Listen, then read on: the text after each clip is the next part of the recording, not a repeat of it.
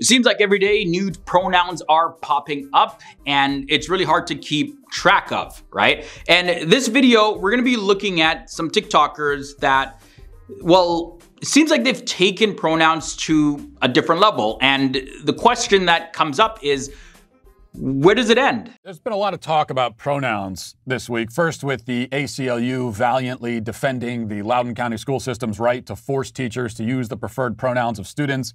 And then with the State oh. Department urging us all to join in celebrating International Pronouns Day.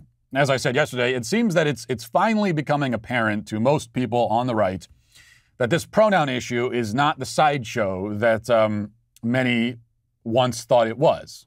No, it's I mean, a real it thing. For one thing, it's an attack on our fundamental human liberties. The worst kind of attack, in fact. The hmm. problem with the pronoun policy in Loudoun County and with similar policies that are being adopted and will soon be adopted in other localities around the country, it's not simply that speech is being compelled, but specifically that false speech is being compelled. Well, I oh, mean, you can only have speech. freedom, real freedom in truth, which is why any attack on real freedom is also an attack on truth. And these are the implications. And I think, I hope, that that's now obvious to most people on the right. But I also hope that anyone who was slow uh, on the uptake, you know, those who took a while to understand the real threat that all of this seemingly bizarre, infringed stuff poses to our society, I hope they won't make the same mistake with the clips that I'm going to play for you now. Because here we have uh, two more contributions to society from TikTok. Both videos feature young people, teenagers, taking the preferred pronoun concept to seemingly new extremes. In this okay. first one, we find out that uh, some of these kids are actually identifying as inanimate objects. Listen. Whoa. Hello. I am Doll. I am Doll. one of our object alters.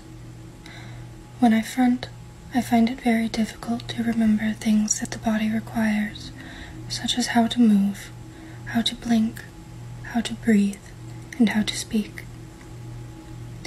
For the purpose of filming this video, I have Meredith co-conscious with me, so that I will not mess up. However, this is the third take. The first two, I forgot to breathe and or speak. I hope this helps you learn. She's acting, right? Or is she actually identifying now, as a doll? Doll here has not invented the doll pronoun concept. In fact, a handy resource is the website pronouny.xyz which lists and explains all of the different alternative pronouns currently in existence. And there are a lot of them. Pages and pages, hundreds oh, and hundreds. Wow. From the very first page, hundreds. you can see that um, if you go there, it's apparently popular now to identify as an emoji. Many of the pronouns aren't words at all, but pictures. Other pronouns include um, poison, poisons, poisons, and poison self. I assume those are Big Pharma's pronouns. Please respect them. Also, Fay, Fairy, Fair, Fairies, Fairy Self, Kitty, fairy self. Kitty's, Kitty Self, Star, okay. Star, Star Self, Star, Star, and Starry Self, Star Self, Sloth Self, and on and on. Self. There's also Dem, there. Demon, Demons, Demon Self. And if you're wondering what a self-identifying demon looks like, well, you're in luck. Hi, my name's Jasper. I use they pronouns. Hi, my name okay. is Liana. I use they demon pronouns. This Demon video pronouns. is how to use our pronouns. So we're going to basically present three sentences. Um, one of them is going to have one pronoun, the other one's going to have the other pronoun, and then the last one is going to have both pronouns interchanged. So Liana uses they, them pronouns and demon pronouns. So the first sentence would be, Liana is my partner, they are cute, and I am theirs. I love them very much, and I hope they love themselves too. For the demon pronouns, it would be, Liana is my partner, Deem is cute, and I belong to Deem. I love Demon very much, and I hope Deem loves Demon's self too.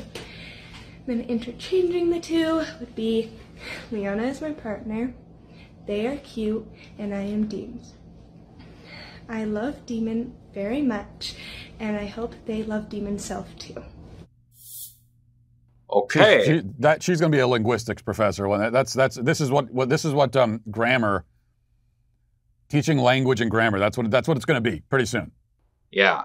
And there yeah. is something Hard very on the nose for about me. this. In fact, in the Gospels, when Jesus encountered demon-possessed people, they would sometimes go by they them pronouns because there was more than one demon infesting the person, And so we may be able to draw some connections and analogies here.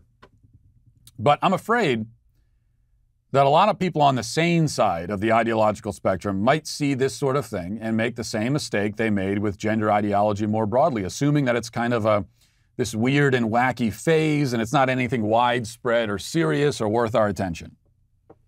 Why, why are we even paying attention? This is just TikTok. Who cares? And in saner times, you know, in a culture that hadn't already sunk below the surface and into the icy depths of full on insanity, that would wow. probably be the right That's reaction. After all, Demon Self over there is really just a goth kid trying to be edgy, right? We had those when I was a teenager.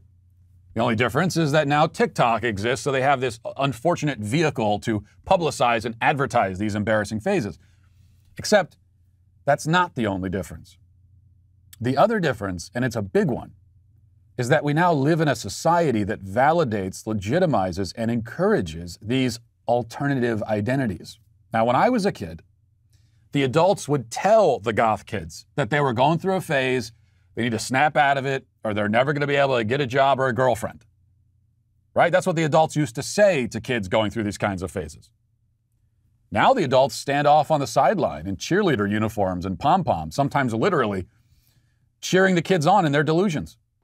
Different culture, what would though. otherwise be a phase, what would be something that makes them look back in a few years and cringe, now becomes an identity. The meaningless is transformed into the meaningful. The effect is that a generation of kids, soon to be multiple generations, have been plunged into mass psychosis. We are not merely validating mental illness, but creating it. Whoa. What would be Whoa. a phase instead becomes the kernel of a debilitating, lifelong identity crisis. And our culture is there with the water cans, making sure that those seeds are germinated. There's not going to be any awakening moment for these kids, or at least there need not be. I hope there is, but there's nothing that would cause that to happen because we used to say, well, wait until you get into the real world and uh, that'll be a wake up call because the real world doesn't work like this. But there is no real world anymore, not according to the people who run our society. There is no reality. Everything's subjective, everything is malleable. Nothing is solid. There's no firm ground to stand on. Right. Okay. Mass psychosis. A generation driven into madness before they're old enough to drive a car. It's one way to look That's at it. Nothing less. And I think we need to start treating this like the major problem that it clearly is. All right, guys, I see two things here. One where Matt Walsh, he is looking at it from a traditional standpoint of this is how society used to go, this is how it was before, so it should always be like that. And if something else comes up, then it's bad, then it's a problem. And th that's one of the mentalities I have an issue with with the right. But when it comes to the left now, they have some good points, but I do have some issues there as well. So for instance, people don't necessarily want to just be stuck with the labels that they're given, right? You know, you you are you should be like this goth oh that's just a phase no no no get out of that get out of that and people like no no i want to own this okay you know i'm gonna own this i'm gonna come up with my own terms my own language my own lingo and i'm gonna be goth if i want to and what you're gonna do, okay? Now, for me, that is great because that is a form of liberation. And I don't think that anyone should just be stuck with one particular societal norm or label that's put on them. And if they steer out, then, oh, it's some big deal and, you know, it's a problem for society when individuality and who you want to be, who you want to create yourself to be, the life that you want to live, how you want to present yourself in the world is a choice. There's not necessarily good or bad per se when it comes to, you know, how you want to dress and the kind of labels that you want to put on yourself. Now, it can get a little messy, and this is where I think the left goes a little too far, where, okay, well, what are now the defined rules here? Like, for example, if I went by what my name means, Leroy means the king, I'm going to identify as the king. You can only address me as the king. That is it. That I'm the king. I'm the king. You know, that can get confusing now when we go out into the world and people are looking at like, oh, the king is coming, the king. But that's literally what my name means. I can just say, nope, don't call me Leroy, call me the king. Okay, well, that may not go down so well if I start declaring that publicly. You're gonna, you know, call me the king, and I, I'm, you must announce it loud, the king, right? No, but we say, okay, well, you know, call me my call me by my name, Leroy. Okay, and usually people don't necessarily have a problem with that, but that th these are some clearly defined rules that we have. I'm not gonna go out and identify as a king because there are implications of what that term king means in the current state of society that we live in. And I don't want to muddy that up. That that's fine. You know, king can be used for a ruler. King doesn't need to be identified as me. I can think myself as a king. I am a king. but you know, so you see, you see what I mean though, when we can take language, we can take words like demon, call me a demon, you know, I'm demon, and it can kind of get a little bit muddied up for people. You know, the, the left seems like oftentimes that they don't necessarily understand that, that point. Whereas the right is like, stick with this. That is all you need to do and that's that. Anything outside of that, you're crazy, you're insane, and you don't know what's good for you. So the right, it's like they try to box you in. And boxes have purposes, they have structures, right? You need some rules, regulations, law and order that people agree on to govern society. But at the same time, over on the left, you need the ability to express yourself in unique ways. It's where we get art, as you know, and entertainment and culture. People being free to express themselves in ways that help color the world and make it better, right?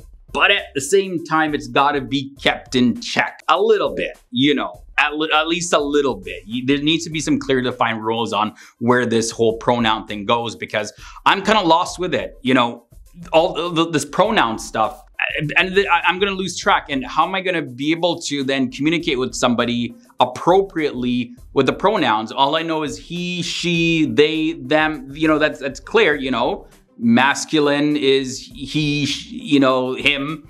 Feminine is she, her, and group is they, them. It's, it's clear, it's clear cut, it's easy. But until I think we have some new clear cut rules and regulations for all these pronouns, it can definitely just run wild and nobody's gonna know how to talk to anybody pretty soon. So that's my two cents on this. Let me know what you think about this. Sound off down below. If you made it this far, leave a big thumbs up. I'll catch you beautiful people in the next video. Later.